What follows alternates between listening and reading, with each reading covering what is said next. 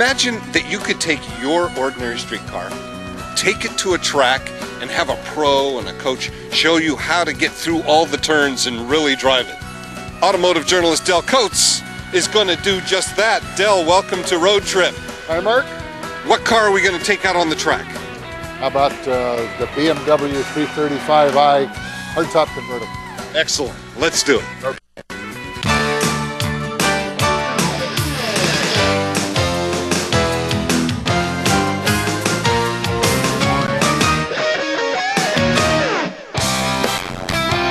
This is Thunderhill Raceway, and um, we're, we're at a, um, an event sponsored by Hooked on Driving. That's an organization that uh, you know appeals to driving enthusiasts, uh, many of whom want to become uh, performance or race car drivers. Okay, they want to go out and win the 24 hours of Le Mans or whatever. I'm not one of those people. Um, I enjoy driving, especially this thing. But um, you know, we were uh, we were at the, the annual watch meeting, and I won the grand prize, which was a day of driving uh, at Hooked on Driving. So I get to go around this uh, marvelous race course with coaches sitting beside me, and they are teaching me how to drive. And um, and I must say that I have gotten a bit better today. Tell yes. me about this wonderful car. Uh, how did it uh, come into your life? Well, you know, I have never really had a convertible. I should by by the time you get to be this old. You should have a convertible in your life. Now, with the exception of a 55 Sunbeam Alpine I restored. That was the only convertible. But it wasn't a it wasn't a daily driver. So uh, I've been fascinated by these uh, retractable hardtops. You know, uh, I'm just fascinated by the mechanism. It is. Uh, yeah, and um, and so uh, when they um, when they started showing up here, you know, like the EOS and, and then the Volvo, and uh, um, I I definitely decided I wanted to get one. Okay, but then my wife put another factor into the equation, she wanted to see if I could find something I could pick up in Europe because she likes to travel to Europe. Ah. So um, we try to do these combinations. So the the BMW was, um, you know, we we knew it was coming out, and uh, on the faith of some things I'd read and on driving the 3 Series coupes, I said, I'm to buy one of those things. So I ordered it without even knowing what it was going to cost. And as the time got closer and closer, I still didn't know. And literally within days of leaving for Europe, I found out what it was going to cost. I, I choked. I choked. Yeah. But, but my wonderful wife said, ah, go ahead and do it. Whoa! Where did you find her? Oh, no, no, she's mind. well. Yeah. That's another story. That's right. That is another story. but it was love at first sight. All right. Okay, so uh, anyway, um, I ordered it for pickup in Munich. Yeah. And um, which is a good deal. You know, you can you can realize a savings of about seven percent, and they pick up some of the airfare. I can't remember exactly what it was, but you know, it was worthwhile, except for the two-month wait you know, for it to get back. But but the cost includes all the shipping and, and all that. And in fact, it included insurance. We were dri- we drove we drove it for about a month in Europe. We drove it uh, throughout uh, Europe, you know, Germany, Switzerland, Italy, Spain, France a little bit, and, and uh, so uh, anyway, it was it's a wonderful car. Um, you know, BMWs have, have always had this it's almost like an intuition. They, they seem to know what you want to do. Uh, and uh, you just sort of have to think about it and you make those inputs and it's compatible. It, it just, it, it's, it really is a, is a back and forth that, and you just, it sounds like a cliche. No, no, you, it doesn't. But it really does feel like an extension of you.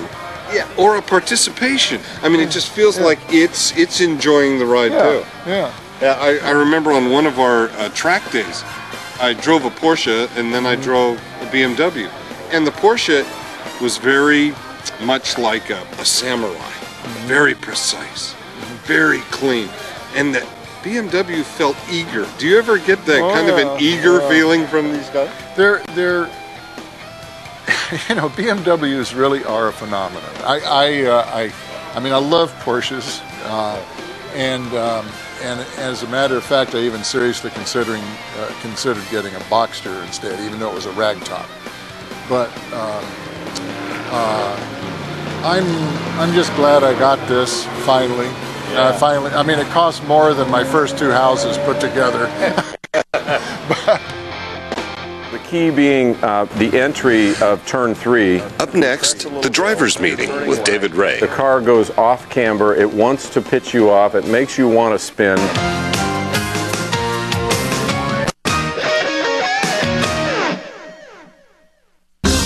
If cars are your thing, if you're a gearhead, if you're buying a new car, all you need to know is the AutoChannel.com. With somewhere in the neighborhood of a million pages of content, the AutoChannel.com is the only automotive website you'll ever need to visit. Looking for the latest news in motorsports? Want to know what the hot new prototype was at the Detroit Auto Show? You'll know by going to the AutoChannel.com. The AutoChannel.com, your one stop automotive website. Don't pay another mortgage payment or maintenance fee on your timeshare. Turn it into cash. Call timeshares only. We got rid of those maintenance fees. Thanks, Timeshares Only, for making it so easy. At timeshares only, you'll find properties from the biggest names in the industry. If you want to buy, sell, or rent, call now. No more mortgage payments, no more maintenance fees. Thanks, timeshares only. Call timeshares only and get your free information kit with our insider secrets to buying, selling, and renting timeshares, plus receive a free $100 gift card. Our thousands of satisfied customers have made us the largest resale marketplace in the world. Call timeshares only now. Your free information kit with our 10 secrets on selling your timeshare is waiting. The over $5 billion sold in the past six months proves now could be the best time to sell. Call Timeshares Only today. Thank us tomorrow. Call timeshares only now and get your free information kit. Turn your timeshare into cash and never pay another mortgage payment, maintenance fee, or tax bill again. Don't wait. Call now. Call 1 800 681 4199 for your free information kit and $100 gift card. That's 1 800 681 4199.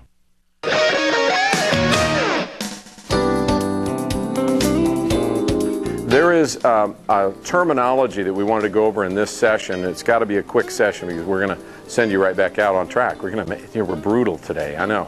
Um, there is a set of terms that we use that make things easy mechanically in the car because as you get going quicker, you're probably going to be doing a little more shifting.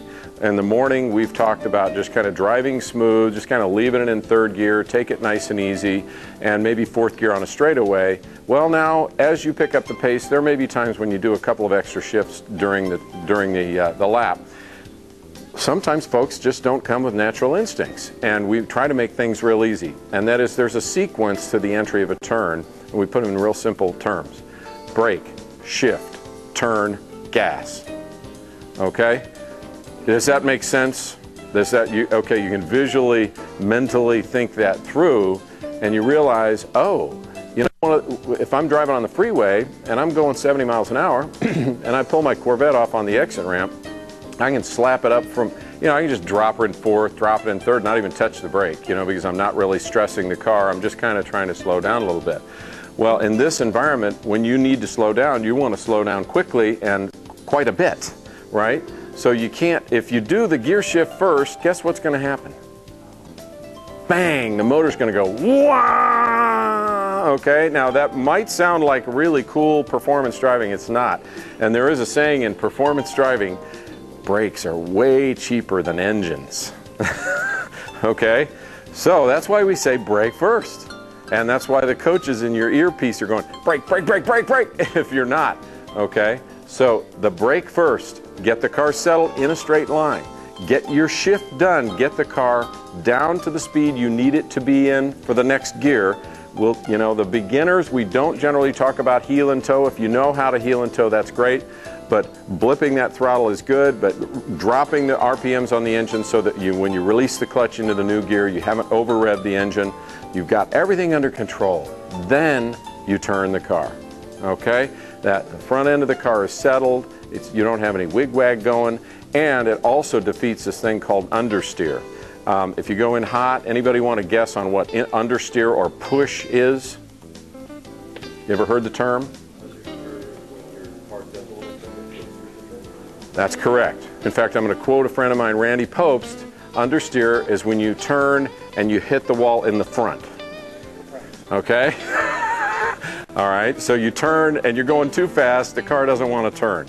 So most street cars are actually tuned with an alignment that will make them plow because actually that's the safest way to crash if you're going to be a stupid person out on the streets. So you got to take the understeer out of the car by slowing down and letting that front end bite and get turned. Okay, so you surrender up a little speed on the entry, turn in, and then immediately with the eyes up, you're seeing as you're driving through the apex. The minute you've got the apex, then look at the track out point next, and you're feeding throttle and on out to the exit.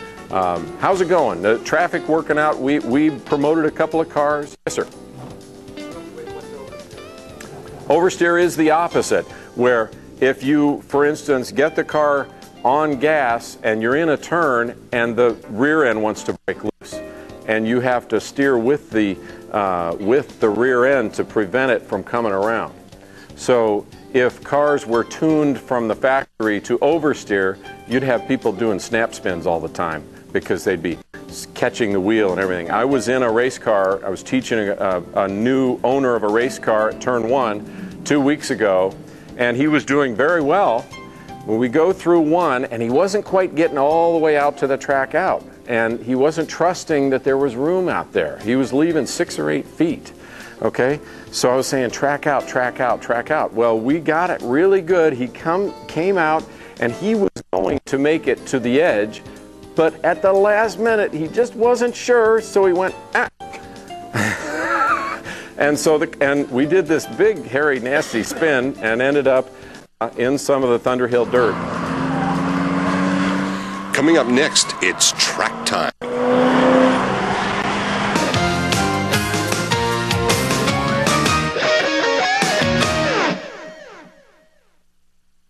To some people, cars and trucks are everything. To others, they're just transportation. Whatever your interest level is, you'll find more at theautochannel.com. The Auto Channel has a million pages of content. No, I don't mean a million pages, I mean a million pages, including thousands of videos. And the Auto Channel has dozens of searchable databases with the latest new and used pricing information. And it's all free. TheAutoChannel.com. There's nothing else like it.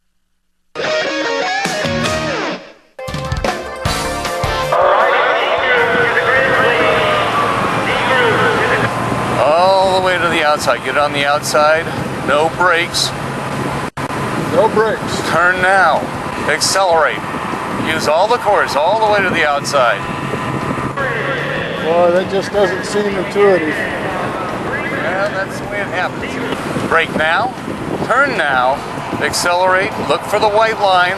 Look for the white line. Beautiful. Carries you right over the top of the hill. Turn now. Accelerate. All the way to the outside. Brake now. Turn now. Accelerate. Brake now. Turn now. Get all the way down. Get right up on the now. Let it up. Let it up. Make it go straight. Straight. Turn now. Accelerate. All the way down the straight. Accelerate.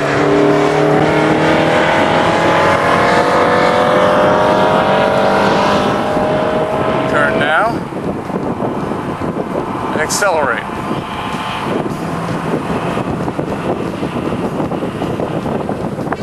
You know, I still just can't, I can't seem to uh, start turning soon enough. It's like I want to, I want to wait too long. What you need to do is look farther ahead. Look way up the course. That'll make you smoother. It'll make you turn in earlier. I got to concentrate on the apexes. Right, but you gotta look past it. You gotta look on past the apexes. You know where they are. You're driving the next turn ahead, okay? Always driving the next turn ahead. Okay, all the way to the right. Brake now. Turn now. Accelerate. It's a little, got a little bit of There flag. you go. Okay, now in point, get back over to the right. Come on, you're on the wrong side of the track. See that cone over there? Turn on the cone, accelerate. See how much earlier you turned there? Yep. It's because you were looking farther ahead. Much, works much better. Okay, turn now. Let Let it go all the way to the outside. Okay, we're coming into turn eight. Keep the speed, no brakes. Turn now, accelerate. All the track, use it all. Come on, you paid for it all. There we go. Good, okay. Brake now, turn now, accelerate. Look for the white line on the right side of the track. Follow it all the way over the top of the hill. Good. You got a uh, Corvette behind you. You want to race him, you want to let him pass. Brake now, turn now, accelerate. All the way to the outside. All the way. Brake now, turn now, accelerate.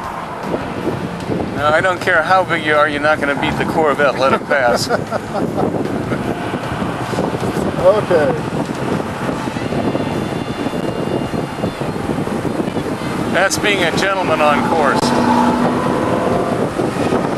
There's very few of us left. Don't follow him, drive your own car. Come on. Your apex is a different apex than that. There we go. All the way up to the outside, make it go straight. Turn, accelerate. Use all the road. Come on, use it all. There you go.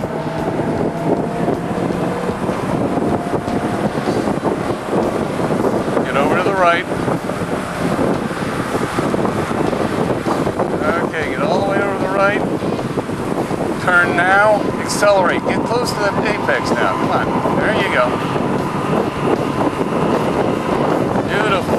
White, white line to white line. That's what we want to see. Right now. Turn now. Look for that ape- apex cone all the way on the other side. All the way on the other side. Good. Way ahead. Sucker. Yeah, you got it. Little break, middle of the course. Good. Keep it out until you see the cone. Bring it in. Put your wheel right alongside it. Now turn. Very good. You keep over the right. Brake now. Brake. Turn. Accelerate. Well, you do that nice.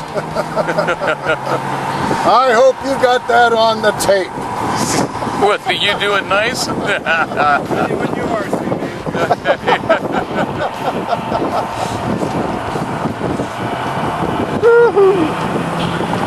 There we go. Stay with us. We'll be back with more from Thunderhill Raceway.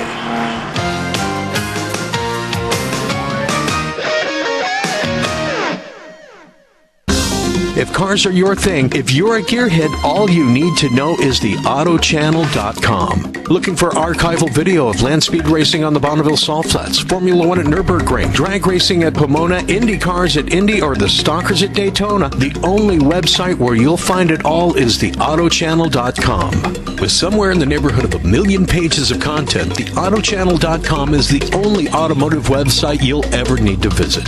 The AutoChannel.com. What did you find out about it on the track that you didn't know in, on the street? Well, I knew it. I knew it would handle the course well. There's no question about that. The only question was my ability to extract what it had to offer. Because I'm, you know, I, I've never aspired to be a, a race car driver, and um, I've always wished I could drive better, and so I took full advantage of, you know, I had an instructor with me um, the whole time as I go around the course, and um, so, what, what- kind of a grade did he give you, Del? I don't remember any mention of grades. Uh, the uh, they they all said I did well. You so, and as a matter of fact, uh, I think I did, especially towards the end. And I guess the thing I learned was that a good car can make a good driver out of it. I mean, I really I felt I felt good about the way I pushed this thing around the course. And um, you know, BMWs have, have always had this, it's almost like an intuition. They, they seem to know what you want to do.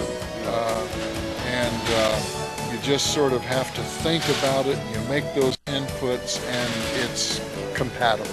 It, just, it, it's, it really is a, is a back and forth that and you just it sounds like a cliche. No, no, But it doesn't. But it really does feel like an extension of you. Yeah, or a participation. You know, Well, when yeah, I I've driven mean- them too, I mean, it just feels like it's it's enjoying the ride Yeah, too. yeah. Yeah, I, I remember on one of our uh, track days, I drove a Porsche and then I drove a BMW, and the Porsche was very much like a, a samurai, very precise, very clean, and the BMW felt eager. Do you ever get that Oh, kind of an eager yeah. feeling from these guys? They're they're you know BMWs really are a phenomenon. I I uh, I, I mean I love Porsches, uh, and uh, and as a matter of fact, I even seriously considering uh, considered getting a Boxster instead, even though it was a ragtop. But um, uh,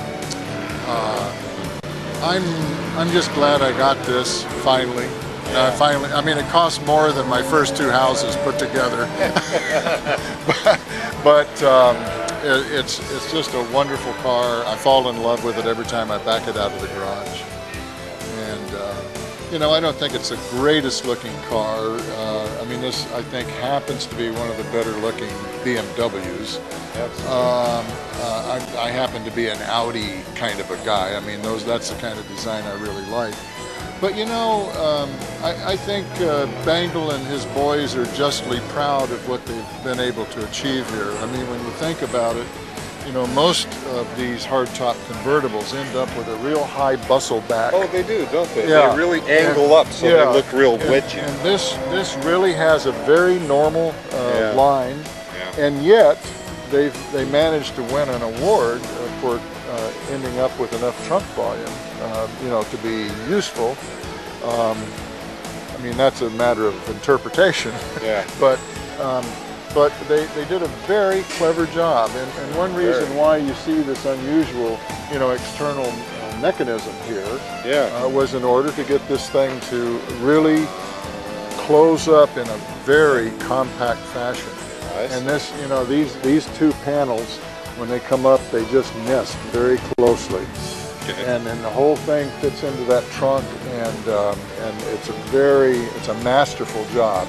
And to boot, unlike normal convertibles, this thing is a rock solid, quiet coupe. I've, That is I- Yeah, I've seldom driven a coupe that's as quiet as this. Um, I mean, it's as quiet as any coupe I've ever driven. I mean, the wind noise is nil. And furthermore, with the top down, even with the windows down at freeway speeds, I can comfortably listen to the radio. And that, that I mean, I think that's a, a marvelous thing. Does it have one of those little uh, uh, walls that yes, goes behind? but frankly, I didn't feel like spending the $500 for it. yeah, uh, I think they come standard on the Volvo and the Volkswagen. I'm not certain of that, but I think so. you have to have a kind of a large credit card too. That's right. Yeah. And, and that was kind of, that's the line, that's where I drew the line. Yeah. I said no. And, and the four hundred dollar iPod connection. Oh yeah, yeah, right. And I don't, I don't want to really go into the details of that, but Yeah. it's it's spooky, Yes. and uh, it is. Um, it's not what you expect when you buy something called an iPod interface. Yeah. Well, my my final question to you, Del, is that are automotive journalists really smart enough to get in out of the rain? Um, I'm getting there. I, I think it depends on how how heavy the rain is. Yeah, that's Yeah, true. Yeah. That's true. But come rain or come shine, remember the best place for complete automotive information is the AutoChannel.com. I'm Mark Fulmer. See you next time on Road Trip.